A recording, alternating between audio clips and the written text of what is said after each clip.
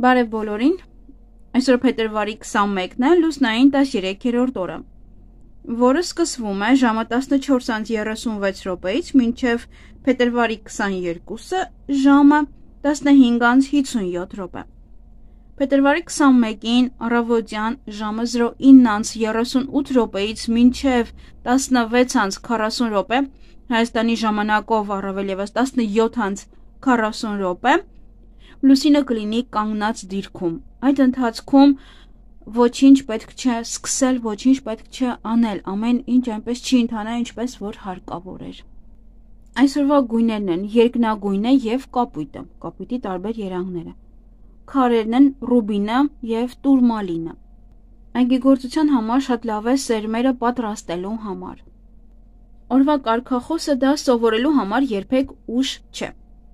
Օրվա խորհրդանիշը դա ճակատագրի անիվն է, սամսարան վերածնունդը։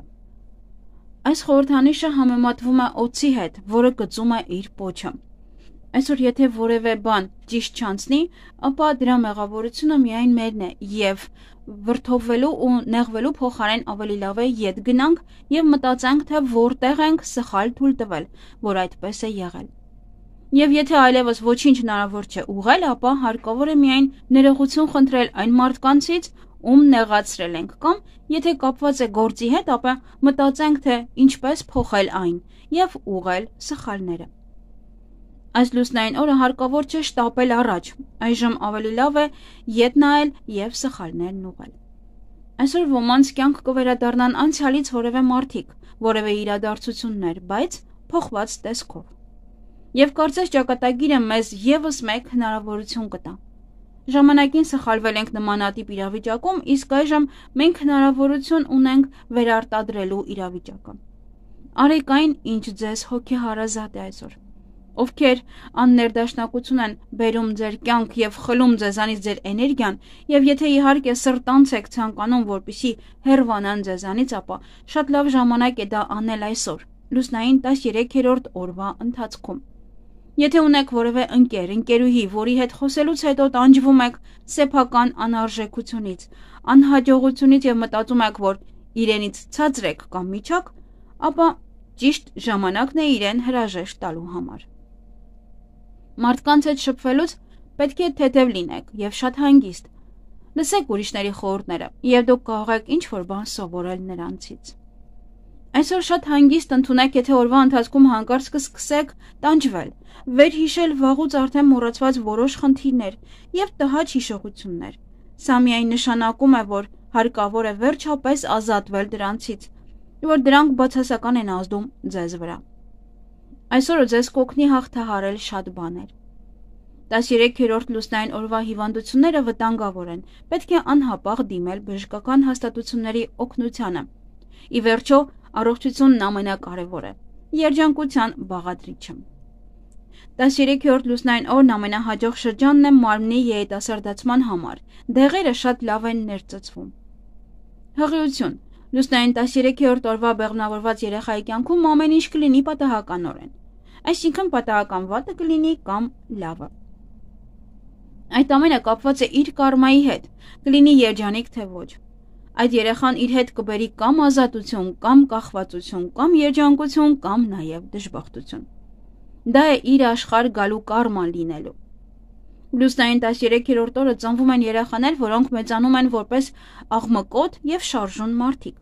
Նրանք սովորաբար ապրում են մինչև խոր ծերություն։ Այսօրը ծնված մարդն առանձնանում է ուրիշների հետ հեշտությամբ շփվելու ունակությամբ։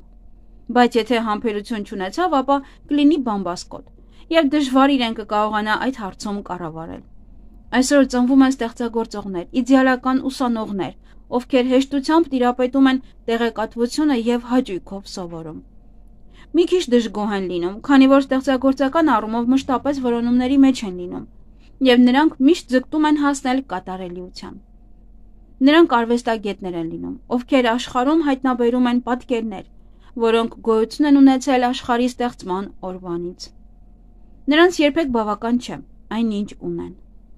Լուսնային 13-րդ օրն ամենաիդեալական ժամանակահատվածն է նախկինում անհայտ մթերքներն ու ուտեստները փորձելու համար։ Կողեք փորձել ամեն ինչից քիչ-քիչ։ Այսօր կարող եք լիքը ուտել։ Եվ չպետք է անհանգստանալ, որ քաշ կհավաքեք։ Այսօր այդ օրը չէ։ Այգեգործության համար, եթե այսօր մոլախոտների հետ եւս արմատախիլ կանեք օգտակար բույսեր, ապա կրկին պետք է տնկել դրանք։ Այսօր ձեր մազերը ցանկացած երկարությամբ կտրել է կսրի ձեր ինտուիցիան, որը ձեզ կօգնի ձեր հետագա կյանքում։ Կհասկանաք, թե ինչպես բարելավել ձեր կապիտալը եւ մեծացնեք ձեր բիզնեսը, նաեւ մեծ հաջողության հասնեք։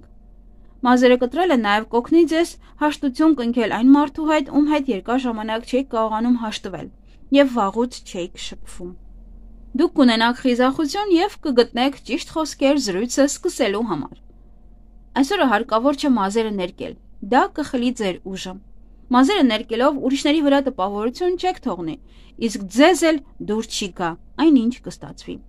Այսօր բացարձակ բարենպաստ չէ գեղեցկության սրահ հաճախելու համար։ Եթե ցանկանում եք մազերը որևէ սանրված կանել կամ հարդարել։ 13-րդ լուսնային օրը անհաջող է բոլոր նոր գործեր սկսելու համար։ Մի սկսեք այսօր ոչ մի նոր գործ։ Այսօր միայն կարող եք վերանայել ձեր գործը։ Վերանայեք պայմանագրերը, ուղղեք սխալները, բայց ոչինչ մի սկսեք։ Շարունակելով ձեր բիզնեսը դուք ասես կվերադառնաք սկզբին եւ կրկին ամեն ինչ կսկսեք նորից, ինչեւ ելի կհասնեք հենց այս օրվան։ Սա լավ է միայն այն դեպքում, երբ շատ սխալներ եք արել եւ այլևս դրանք չեք կրկնի։ Եթե ցանկանում եք փակել ձեր բիզնեսը, ապա այսօր բարենպաստ օր է դրա համար։ Իհարկե, այն բիզնեսը կամ աշխատանքը, որն արդեն դադարել էր իր գործառությունը կատարել։ Այսօր ցանկալի է զերծ մնալ նոր ծանոթություններից եւ շփումներից։ Հնարավոր է հանդիպում միայն այն մարդկանց հետ, ումից ժամանակին բաժանվել եք, բայց ոչ ամենաուրախ ձևով։ Միգուցե ձեր առաջին ամուսինը կամ կինը այնքան էլ վատը չէին, եթե իհարկե նրան նայեք իմաստուն աչքերով։ Եթե նա հայտնվի ձեզ մոտ լուսնային 13-րդ օրը, ուրեմն նա կսկսի ուրիշ կերպ նայել այն մանրուքներին, որոնց պատճառով ձեր ճանապարհները բաժանվեցին։ Եվ հավանաբար դեմ չի լինի փորձել ամեն ինչ նորից սկսել։ Այսօր արգելված են ամուսնությունները եւ նշանադրությունները նրանց համար, ովքեր ամուսնալուծված են։ Շատ հարմար օր է հաց թխելու համար եւ տան վերանորոգման համար, նաեւ տուն գնելու համար։ Աշխատանքը փոխելու համար 13-րդ լուսնային օրը համարվում է ամենավատ օրերից մեկը։ Բայց այս շրջանն իդեալական է քննություններ հանձնելու, նոր գիտելիքներ ձեռք բերելու, ոչ միայն վերադասի, այլ ընկերների հետ շփվելու համար։ Բարենպաստ օր է թալիսմաններ պատրաստելու համար, քարեր, թղթեր կամ մետաղի վրա պաշտպանիչ նշաններ դնելու համար։ 13-րդ լուսնային օրը երազը ձեզ կպատմի այն ճանապարհը, որը դուք պետք է անցնեք, որպեսզի կյանքը փոխվի դեպի լավը։ Այսօրվա երազները գրեթե միշտ իրականանում են։ Կարևոր է լսել երազների հուշումները։ Այսօրվա երազներն իրականանում են 10-րդ օրը։ Այսօրվա կանխատեսումները կարող են փոխել ձեր ճակատագիրը։ Այն, ինչ այսօր կսովորեք, ապագայում ձեզ շատ անհրաժեշտ կլինի։ Եթե ցանկանում եք ձեր պարտքերը վերադարձնել, ապա այսօր կարող եք դա անել։ Ամուսնության համար միայն բարենպաստ է 30 տարեկանից բարձր մարդկանց համար։ Ինչ կարող եք անել այս լուսնային օրը։ Նոր գիտելիքներ ձեռք բերեք։ Փորձի եւ գիտելիքների փոխանցում ձեր երեխաներին, անձնական խնամք եւ թույլատրվում է իհարկե արդյունշրջի ցանկացած սնունդ։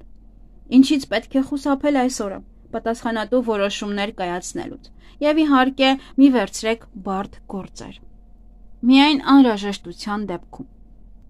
Քանի որ լուսինը գտնվում է առյուծ նշանում, դուք հեշտությամբ կկարողանաք վարել ձեր զրույցը եւ իհարկե տանել դեպի ձեզ հետաքրքրող թեման եւ իհարկե հիանալի տպավորություն թողնել դիմացինի վրա։ Եթե պետք է մեծ լսարանի առջև խոսեք, ելույթ ունենաք, ապա հիանալի օր է այսօրը։ Եվ այսօր չորեքշաբթի օր է, այսօրը իշխում է Մերկուրի մոլորակը, շատ ակտիվ օր է բոլորի համար։ Կլինեն բազմաթիվ միջոցառումներ, ճամփորդություններ, հանդիպումներ եւ նաեւ բավականին շատ ծանոթություններ։ Ովքեր առևտրով են զբաղվում, այսօրը հիանալի է ձեզ համար կկարողանաք հեշտությամբ շփվել եւ վաճառել ձեր ապրանքը։ Օրը բարենպաստ է նաև անշարժ գույք, շքեղության ապրանքներ, սարքավորումներ եւ այլ թանկարժեք ապրանքներ ձեռք բերելու համար։